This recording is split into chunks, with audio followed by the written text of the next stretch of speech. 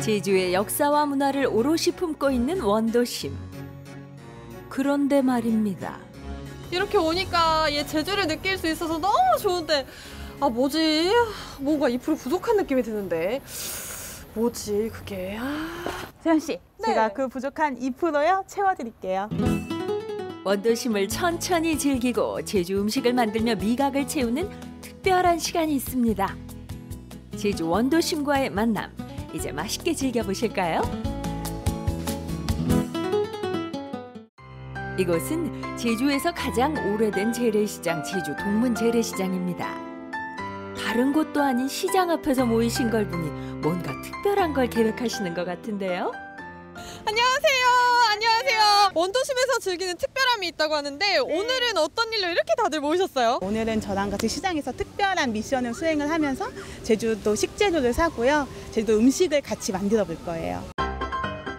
원도심만의 매력이 깃든 기분 좋은 변화의 바람이 원도심에 불고 있습니다. 원도심에서 빼놓을 수 없는 재래시장은 치열한 삶의 현장이자 정겨움이 묻어나는 장소이기도 한데요.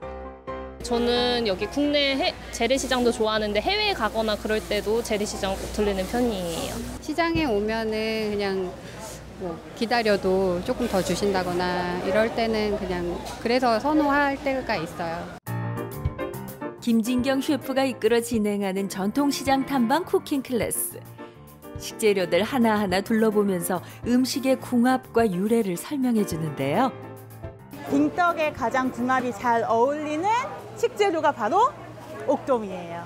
옥돔을 사서 이따 빙떡을 말고 옥돔과 같이 먹어봤을 때 얼마나 환상적인 맛이 나는지 한번 네, 느껴보실게요. 벌써부터 기대 만발. 일단 잘 말린 옥돔부터 구입하고 다른 재료들도 차근차근 살펴보는데요. 재래시장만의 푸근한 인심과 생동감 넘치는 에너지는 덤으로 챙겨갑니다.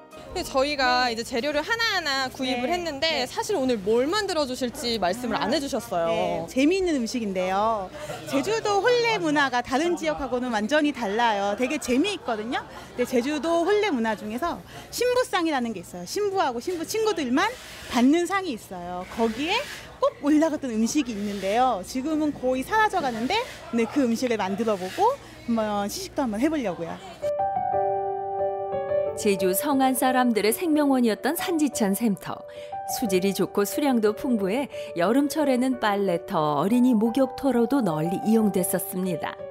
비록 옛날의 정치는 찾아보기 힘들지만 여전히 소중한 제주 자원인데요.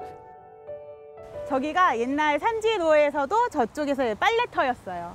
저기에 모여서 열심히 빨래를 하면서 남편 흉도 보고 사촌 흉- 흉도 보고 시어머니 흉도 봤겠죠. 네.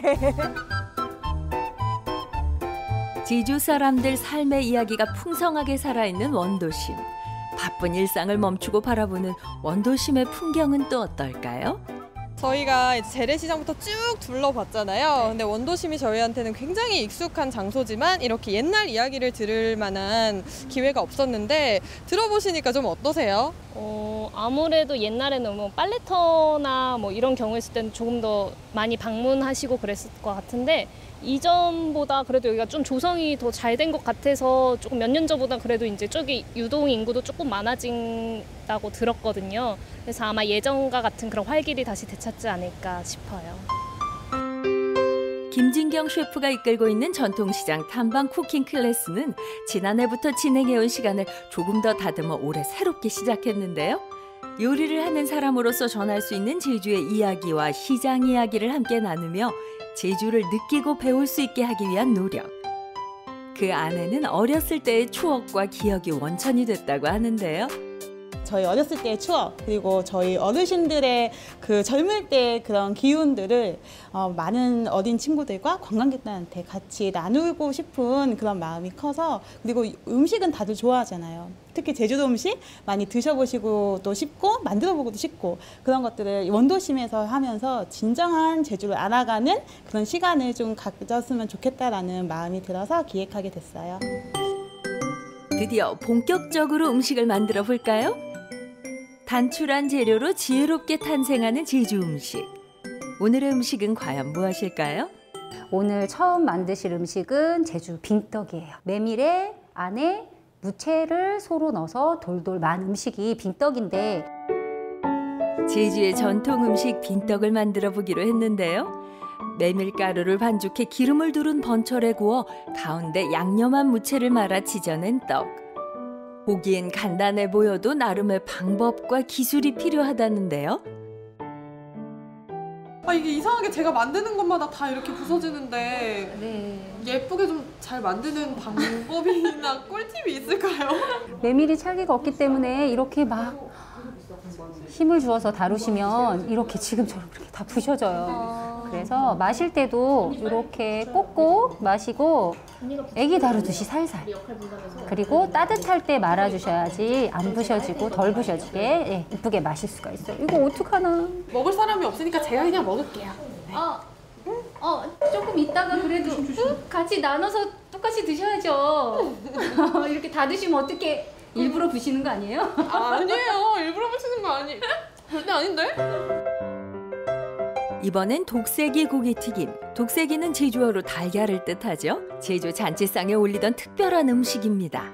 돼지고기를 다져 채소와 버무려 익힌 뒤 삶은 계란에 고르게 싸서 밀가루와 빵가루 등을 입힌 다음 기름에 튀겨내는데요.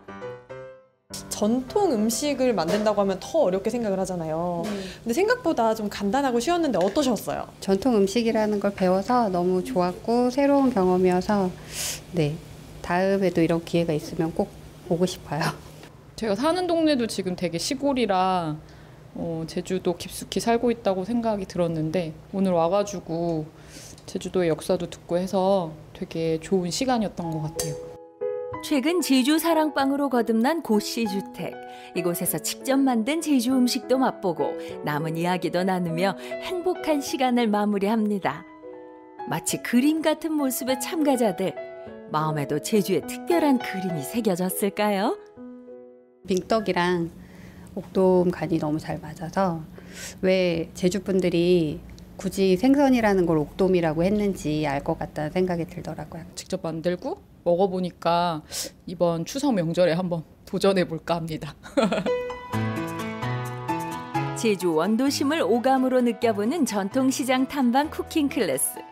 제주의 삶과 숨결을 따라 걷고 듣고 만들어 봅니다. 화려함과 거창함을 벗고 소소하고 따뜻한 원도심 제주 요리 이야기. 여러분도 꼭 한번 느껴보세요. 제주 원도심에서 특별한 추억을 만들어 보세요.